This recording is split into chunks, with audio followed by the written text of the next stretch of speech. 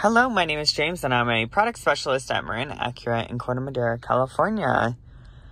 Today I'm going to show you how to change the optional ambient lighting in the 2022 Acura RDX. So with the touchpad, we are just going to go into swipe over to settings, select it, and in vehicle settings, we are going to lighting setup and um, accent light theme. Right now it's on dynamic mode, so you can change the ambient lighting with that. It's either normal, sport,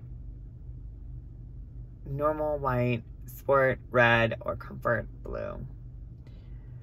And you can change it with these optional colors here and you just select the one that you want. I'm going to leave it on the dynamic mode.